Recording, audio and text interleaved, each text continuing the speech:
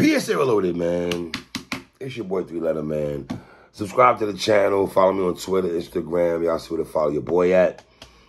Hit the like button also. I appreciate that, man. Y'all see the title of this one, man. Let's talk about it. Why does it feel like, and, I, I'm not here to stick up for anybody, right? I'm just calling it how I see it. And what I'm seeing, I'm trying to pinpoint, and I've been trying to pinpoint before I did this blog, when did the culture go left on Meek? When did when did the culture feel Meek when left on us? Because two things can be true, right? You got you got you can say Meek Mill versus everybody, right? And then you can say Meek has done things that the culture maybe has nitpicked to a large degree, right? Was it after back to back though? Was it was it really after back to back? Because I feel like when Meek came into the game when, he was with Nicki, when Ross picked him up and they, oh, who's a boss, you know, I'm a boss and everything like that. The MMG um, came about. I thought Meek was heralded as that guy. You know, I see people saying Philly has turned their back on Meek. Have they though? It, it, and I know people go to the hate word so quickly. Is the hate word warranted? Like I said, has Meek done stuff to people where they looking at him funny style, right? Um, even the music, I feel like, bro, you gotta understand, Dreams and Nightmares, whether people want to admit this or not, is one of the greatest hip hop songs out there of all time because and just the impact of it when it comes on, how people lose their effing mind when this particular joint comes on, comes on, right? Now I see Meek come to defense of King Combs, Diddy's son. Um, Diddy's son, King Combs, had the, this track. I think it's called Pick a Side. People say this 50 Cent. Listen, man, Pusha T had a song called What Would Meek Do? And I don't know, what would Meek do? I, I don't know, man. The song at 50, is it really coming at 50, though? I mean, did he really get at 50? He said, when when all they had was 50 Cent, who put the city on the map? Stop lying. Like, and they said many men, and he added. I don't really think that was a hard diss at 50, though. Like, I don't think that makes you run to the booth to do a track against King Combs. I know 50 went on on the internet and had some words for, for Diddy's son. I know Diddy's son, the, the, the, new, the no Diddy word that's been going around, floating around within the last month and some change you know, niggas went from no to pause. Now it's no Diddy, and and, and I, I, wonder how his son feels about that.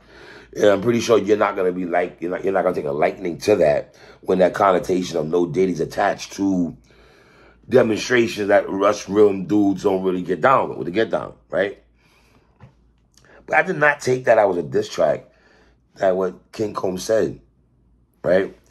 Um, and then Meek goes, I know 50 went online, he gets at King Combs, and then Meek took some words towards 50 for coming at King Combs, and then 50's like, um, went IG and said, you sold 6,000 copies.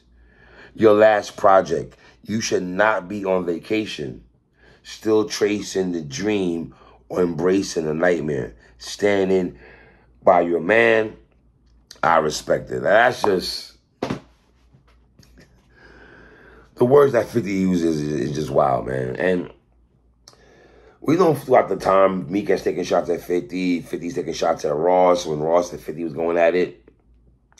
But even when 50 was going at Ross, I always felt like he didn't really go hard against Meek. Now, I remember on stage that years ago when 50, I think, was trying to confront, was it Trav? I think his name is Trav know Trav was down with Junior at one time when Junior was on top of the game, and then he's running with Meek and everything, young Trav and stuff.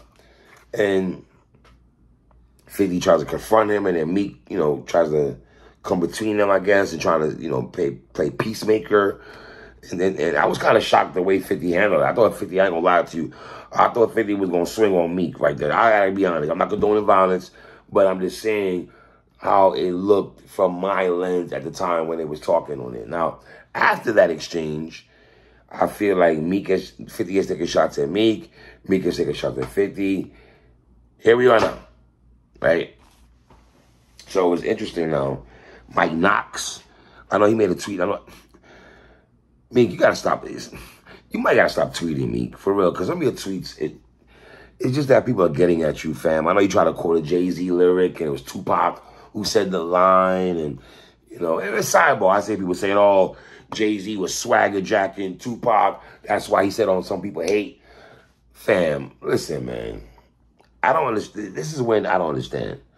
So because Jay Z will take somebody's lines and their lyrics and everything, right, and then put it in, in his music, that means he's swagger jacking. But we've seen this throughout hip hop when guys do this all the time. Y'all do not go in that bag.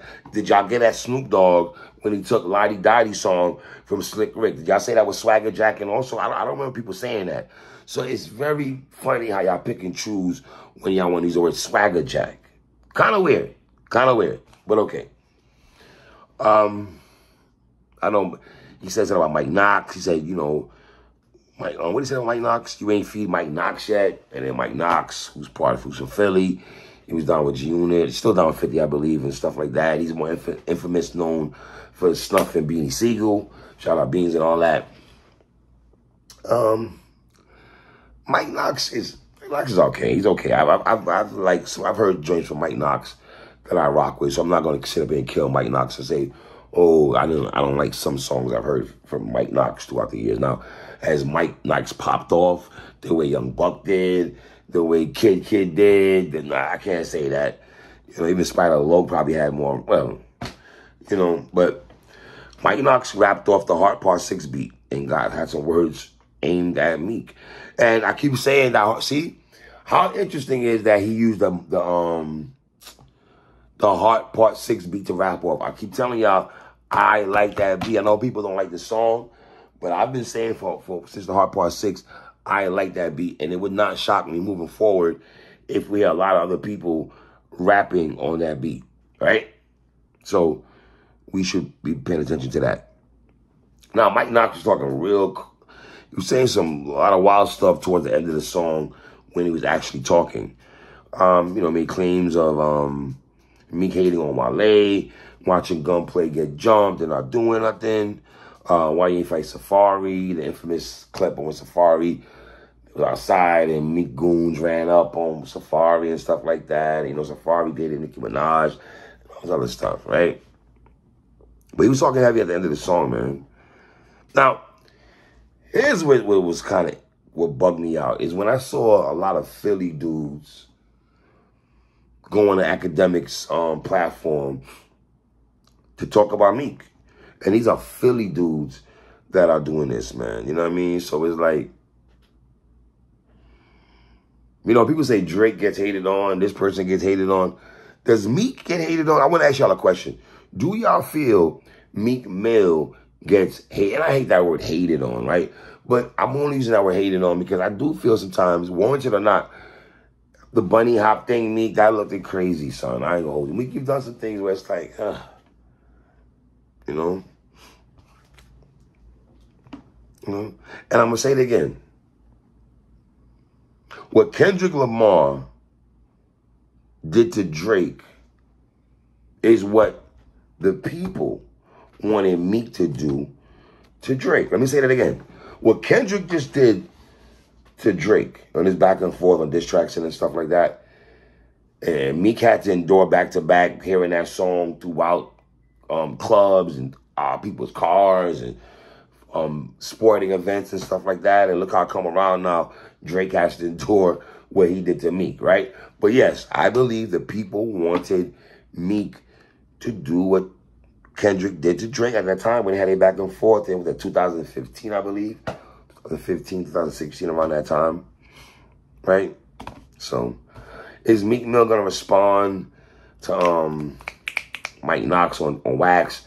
We don't know. He might act like Mike Knox is, you know, underneath him, so I'm not gonna respond to him and stuff. Is 50 and Meek gonna go on wax with it? I doubt it. Nobody goes on wax anymore. Everything is trolling, saying this, saying that, and this, that, and the third, man. So yeah, man, leave comments at the bottom, man. Tell me what y'all think. And they got Soulja Boy also. Got Soulja Boy having words towards Meek Mill, man. Saying that then Diddy do, this is crazy, fam, man. Ah, this hip hop thing is just crazy. Now, has Drake and Kendrick started this thing now where people are going to feel like they have to go to the booth now and just start all the feelings that they had towards somebody, they're gonna go to the booth now and release joints. Is that what we're, is that we're gonna lead into the summertime of people doing heavy diss tracks? I don't know, man. Well, leave comments in the bottom, man. It's your boy three.